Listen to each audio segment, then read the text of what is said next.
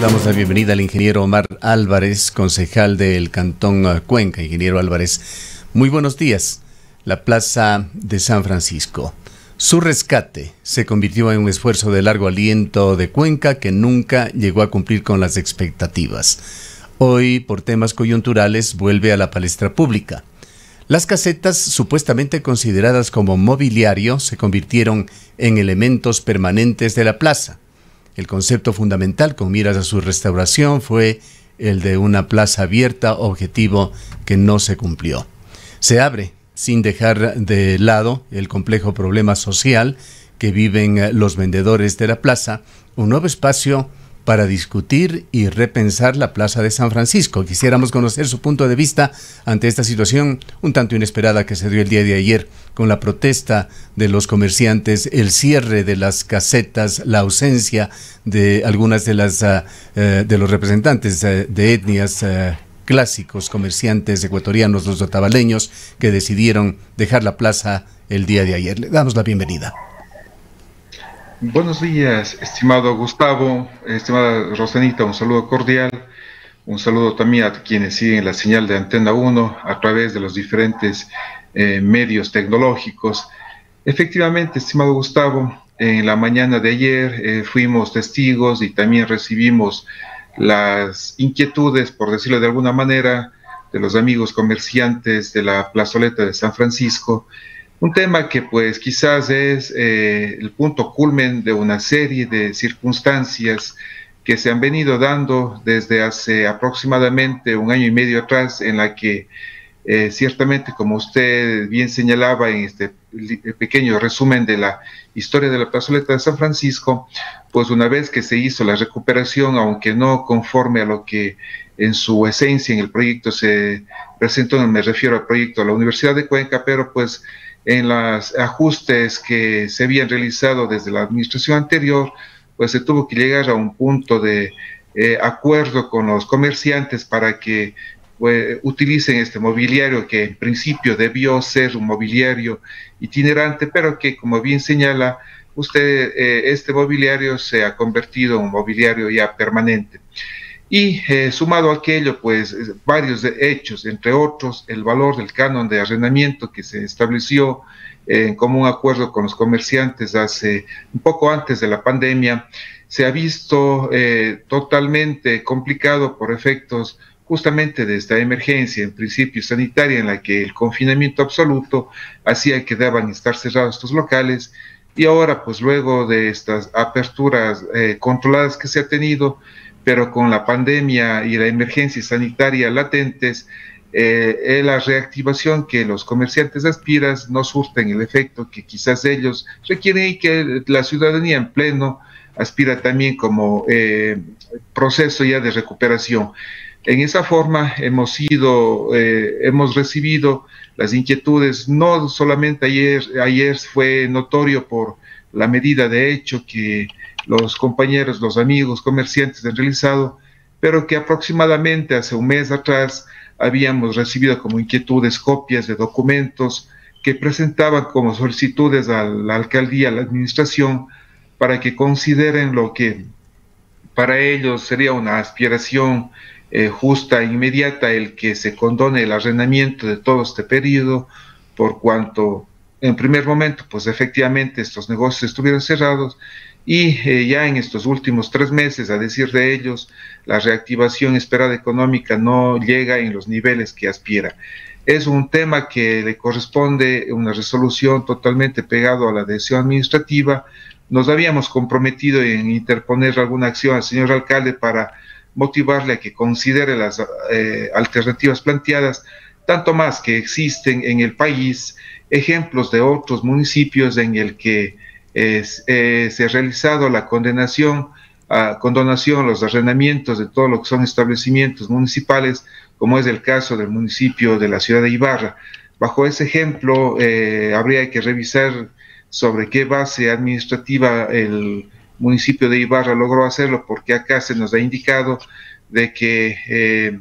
las medidas de control imposibilitarían de que se pueda hacer dicha condonación. En todo caso, un problema social latente que deja ver el entramado social complejo que estamos viviendo, no solamente a nivel del comercio formal, por decirlo de alguna manera, también ayer estuvimos presentes en una sesión solemne de los comerciantes informales que de igual forma eh, reclaman, solicitan atención a sus actividades económicas. Hemos escuchado ya desde hace varios días atrás la preocupación que tienen los transportistas por el hecho de que la realidad en la que ellos están desarrollando su actividad no cumple las expectativas en cuanto al número de pasajes que requieren para el sostenimiento y agravado por lo que han sido ya los anuncios de estos últimos días, estos ligeros aumentos de combustibles, dada la forma y el modelo de gestión que se ha planteado para eh, la aplicación de los nuevos precios de combustibles en función de la oferta y la demanda. Es un tema que consideramos justo por una parte, por otro lado, pues eh, le hemos indicado a los señores comerciantes que esto es parte de un problema complejo, que existe la predisposición de atender estas necesidades y que ojalá, ojalá ejemplo de lo que habían sido otros municipios, recalco eh, particularmente eh, el GAD del Cantón Ibarra, en el que lograron ellos conseguir la opción la alternativa legal para que se pueda hacer la condonación en el arrendamiento de los espacios públicos municipales. En este caso, estimado Gustavo, Rosanita, no solamente es una problemática que se tiene en la Plaza San Francisco, sino en otros espacios que son de administración de la municipalidad, como el mercado, Feria Libre y otros que pues de alguna forma también han hecho llegar similares inquietudes. Es latente y, y ciertamente que es razonable entender la problemática de los comerciantes de San Francisco, por cuanto el canon de arrendamiento, comparativamente con lo que significan otros espacios de comercio de la ciudad, eh, tiene un valor eh, bastante más elevado eh, que ellos y pues para él e, es mucho más notorio las dificultades que se tendría para cubrir Ingeniero dichos valores. Álvarez. ¿Cuántas eh, personas o cuántos comerciantes están en esta situación y desde cuándo eh, no han podido cancelar eh, los arriendos? Desde el inicio de la pandemia, desde el confinamiento, quizás hay una deuda anterior. ¿Podemos conocer el monto al que asciende esta deuda, digamos, en total con el número de comerciantes que estarían atravesando esta situación? Eh, Rosanita, no existe un solo eh, esquema definido, pues las realidades son individuales. Existen comerciantes que aún antes de la pandemia no se habían podido poner al día en el pago de los valores pertinentes. Otros comerciantes habían estado pues haciendo sus pagos razonablemente hasta cuando nos llegó la emergencia eh, sanitaria a propósito del COVID, así es que las realidades son individuales, deudas en algunos casos que superan los 500, 600 dólares, en otros casos valores mayores. Es un dato que eh, debería actualizarse a la fecha y que eh, con mucho gusto pues pediré que se nos entregue los valores, los datos reales para tener un mejor conocimiento de causa sobre la problemática. En todo caso, lo que sí es un denominador común es de que todos los más de 62 comerciantes que están eh, utilizando este mobiliario público eh, tienen ya firmados sus convenios bajo el modelo actual que se lo planteó y que en consenso se lo definió en función de los valores que significó eh, el, el, propio costo del mobiliario como tal. En ese caso, pues habrá que definir eh, un modelo de gestión recalco que permita, no sé, la aspiración de los comerciantes es la condonación absoluta e incluso hasta el mes de diciembre, como bien se escuchaba en el reportaje, pero pues que habíamos de manera informal eh, eh, digamos, eh, recibido las inquietudes de una solución más completa, incluso de que se cambiasen los valores de arrendamiento por otros mucho menores en comparación a lo que se tienen en diferentes espacios de la ciudad. Esto es uno de los elementos más que destapan la problemática que se tiene un poco en el manejo de lo que son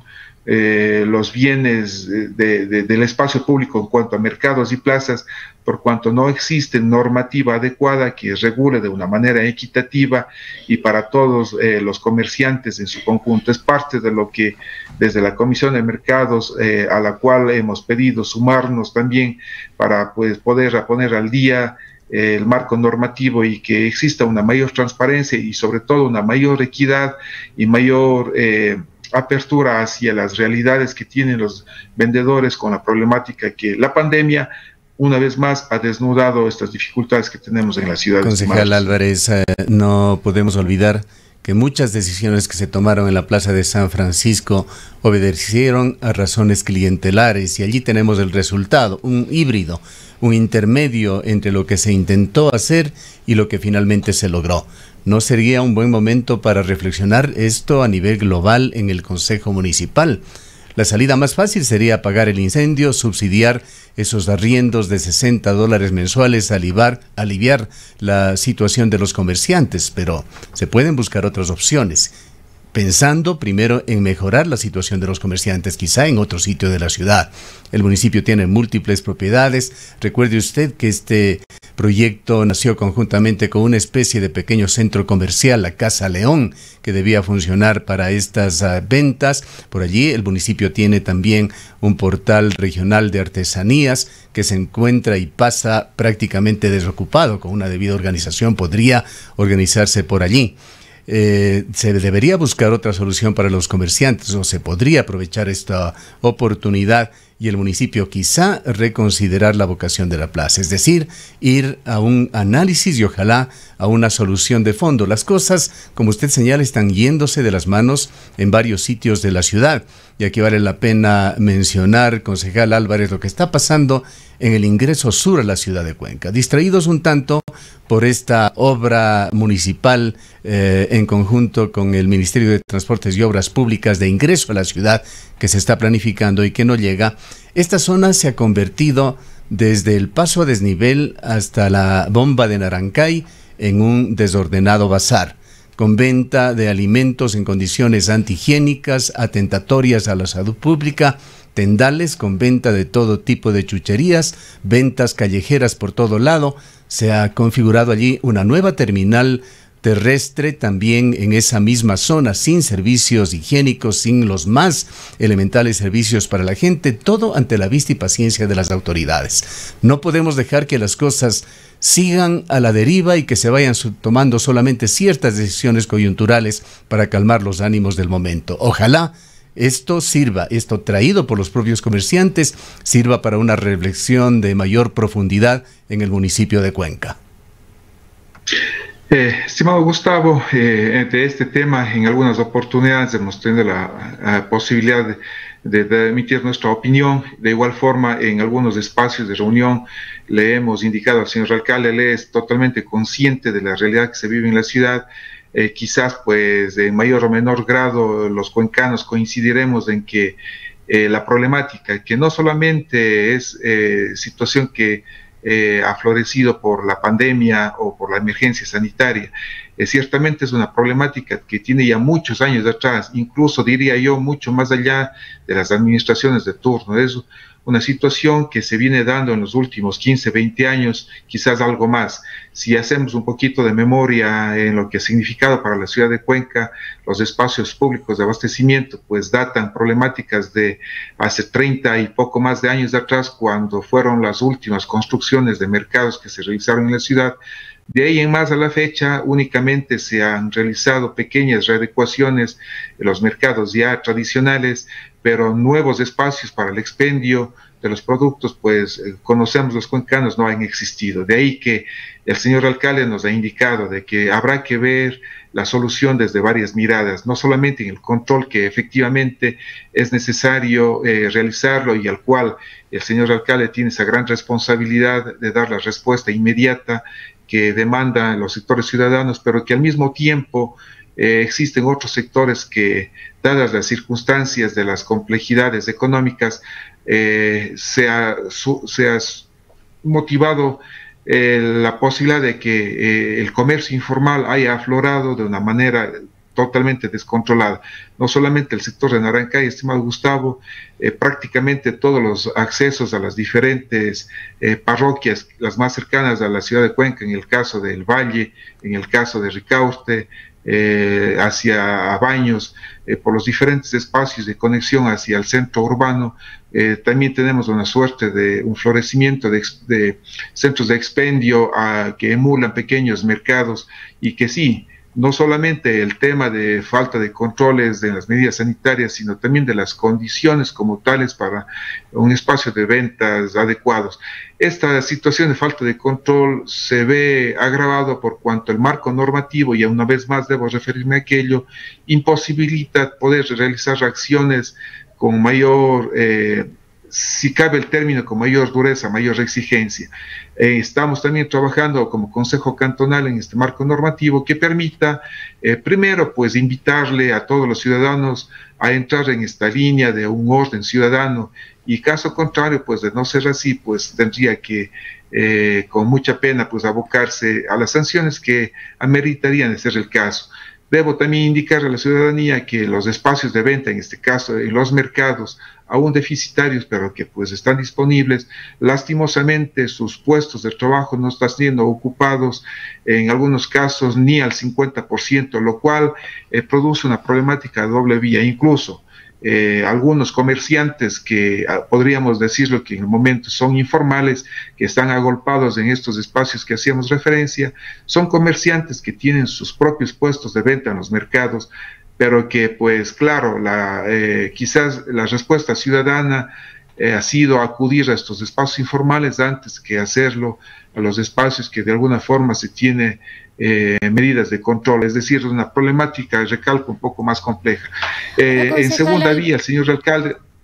eh, sí, concejal Álvarez, en esto eh, que usted manifiesta que no existe una normativa que contribuya a facilitar, en este caso, el control o sanciones en caso de, ser necesario, iría muy de la mano de lo que actualmente se está discutiendo y que ha sufrido una serie de tropiezos, que es el plan de ordenamiento territorial y el plan de gestión de uso y suelo. Se está eh, trabajando precisamente en estas dos herramientas, este tipo de temas porque incluso escuchamos hace algunos días eh, el hoy intendente cuando estuvo al frente de manera encargada de la gobernación de la SUAY, quien advertía también que no pueden intervenir o hacer una serie de controles en materia de seguridad precisamente porque no existe la normativa y que hay una ausencia, en este caso, de reglas desde la municipalidad en lo que tiene que ver al uso y gestión del suelo que les permita llevar adelante los controles necesarios. Si me permite, antes de escucharle, ingeniero Álvarez, vamos a despedir nuestra señal para los televidentes de Academia TV, pero continuamos en las plataformas y en la señal de Antena 1 en las provincias de Azuay y Cañar. Le escuchamos su respuesta, por favor. Ciertamente, estimada Rosanita, eh, hace varios meses atrás, incluso una vez más debo referirme antes de la pandemia, eh, cuando ya teníamos plena eh, aplicación del modelo de gestión que estaba implementando el señor alcalde, complementariamente con el marco normativo que tenemos en la ciudad de Cuenca, eh, habíamos manifestado de que la realidad para la ciudad ha sido de que el marco en general de las normativas, de las ordenanzas, muchas de ellas eran caducas, pues eh, como también es de dominio público, en los últimos años pues ha existido una suerte de cambios drásticos en el marco legal nacional y que el GAD municipal del Cantón Cuenca no había tenido la posibilidad de al mismo ritmo adecuar las normativas conforme estas exigencias de las leyes eh, que se habían eh, eh, han estado promulgándose en estos últimos años. Uno de ellos es la ley general del marco normativo del Código Orgánico Administrativo, normativa que pues debería haber exigido en su momento haberlo puesto al día las normativas locales, cosa que en el caso de la ciudad de Cuenca no se había alcanzado. Desde ahí, pues hemos estado trabajando en, una posibilidad de que eh, esta normativa pueda llegarse a adecuar de manera eh, razonable y eh, la semana pasada, y esto también como parte de ese proceso, pudimos ya aprobar finalmente en segundo debate una normativa que habíamos venido impulsando en principio desde eh, áreas históricas y patrimoniales y que luego se sumaron muchas instancias eh, ligadas a los diferentes departamentos de la Municipalidad de Cuenca, como es el caso de control municipal, como es el caso de avalúos de catastros, la CGA, etcétera, una normativa que permita a la unidad administrativa sancionadora tener un marco legal adecuado de actuación, eh, sobre todo bajo las directrices del Código Orgánico Administrativo, en el cual ellos puedan actuar de manera más expedita, de manera más eficiente y no eh, bajo las directrices que quizás había sido eh, la forma de actuar anteriormente. Esto abre el camino para que haya una mayor celeridad en la actuación de los funcionarios ligados a esta unidad sancionadora y complementariamente a aquello, pues se vienen trabajando varias ordenanzas eh, que permitirán tener un marco expedito de, aplicación de sanciones adecuado, moderno y sobre todo en sintonía con el marco nacional. Una de ellas es una ordenanza que asociaría directamente a la Dirección de Control Municipal, complementariamente con la Dirección de Áreas Históricas, para que puedan tener una actuación, eh, primero, y debo recalcar en ese espíritu de las ordenanzas, una exhortación razonable para que los ciudadanos se sumen a esta eh, suerte de una ciudad organizada. De no ser así, pues lamentablemente estas ordenanzas contemplarán sanciones que tendrán la posibilidad de una aplicación ya sintonizada con el marco normativo para no dar lugar a lo que efectivamente, y como se había referido el señor intendente, es real. El marco normativo de actuación actual no permite llegar a aplicar sanciones por cuanto existe esa imposibilidad, esa eh, falta de sintonía del marco local con las leyes nacionales. Pero una vez que se tengan estos marcos de actuación, pues eh, tenemos que tanto eh, la Intendencia de Policía cuanto Guardia Ciudadana y las demás instancias de control municipal tendrán la potestad mayor de exigir a los ciudadanos llegar a este ordenamiento que, requerimos. Pero decíamos que van en doble vía esta problemática porque no solamente se trata de un tema eh, un tema de control que sí es parte del problema. Por otro lado, pues es eh, la falta también de eh, esta posibilidad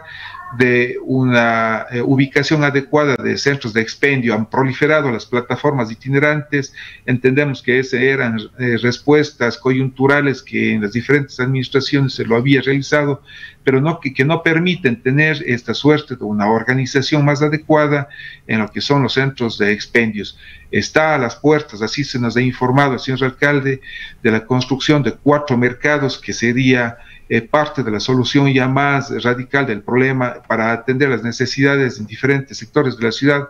que en la actualidad no tienen eh, más allá de estas plataformas itinerantes y recalco una vez más, por más de 30 años los centros de abastos de la ciudad no se ha podido desarrollar, sino los mismos, los que están vigentes, eh, pues han sido los que se han saturado en algún momento y los Álvarez, que, tienen se nos, se nos agota el tiempo, no quisiéramos dejar de tratar otro punto muy importante y perdónenos de interrupción. El gobierno el día de ayer ha hecho una excitativa a los alcaldes del país para suspender eventos públicos y privados durante el mes de diciembre. Esto por el embate de la COVID-19 que sigue amenazante, afectando muy fuertemente a varias ciudades del país. Quisiéramos conocer qué eh, consideraciones se van a hacer en la ciudad de Cuenca. Hasta el momento, las ah, últimas declaraciones que habíamos tenido desde el COE y desde el señor alcalde particularmente era de que no se iba a establecer una normativa especial para el mes de diciembre, pero a ah, todas las preocupaciones que se han dado,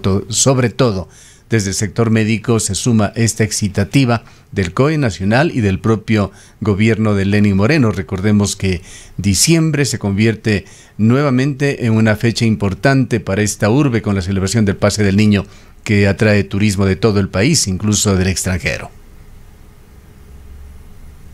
Que es así, estimado Gustavo, todavía seguimos muy preocupados por los datos que se tienen a nivel nacional. Eh, sabemos de las deficiencias con mucha pena decirlo, la falta de credibilidad que tienen los datos que se nos entrega a nivel nacional, pero aún con esos datos no deja de estar latente la problemática en cuanto a los riesgos que se tiene todavía eh, eh, de, de contagios. La ciudad de Cuenca no es la excepción, aunque de esos datos se desprende que con un poco de satisfacción quizás ver que en las últimas tres semanas se han reducido de manera muy importante esos ritmos de crecimiento, pero más allá de aquello, manifestar que apenas se levantó el estado de emergencia y apenas se dispuso desde el COE nacional de que sean los COEs cantonales y los diferentes GAS quienes tomen las medidas pertinentes, eh, con toda la responsabilidad del COE cantonal de Cuenca, eh, perdón, el Consejo Cantonal de Cuenca y sobre la base de la información que teníamos del sistema de salud, sobre la base de las realidades que se estaba teniendo en su debido momento, tomó las decisiones adecuadas que creíamos oportunos y en el cual se establece, entre otras, la prohibición absoluta de llevar adelante eh, cualquier tipo de evento de concentración masiva en sobre personas afectadas en la ciudad de Cuenca. Eh, ingeniero Álvarez, quisiera añadir que eh, hemos tenido reportes de los principales hospitales, del Vicente Corral Moscoso y el IES, y estos se encuentran permanentemente saturados en sus unidades de cuidados intensivos. Ese es uh, un permanente aviso, un estado de alerta. Justamente y eh, de manera también continua tenemos información de lo que está sucediendo en los sistemas hospitalarios que como bien se comenta,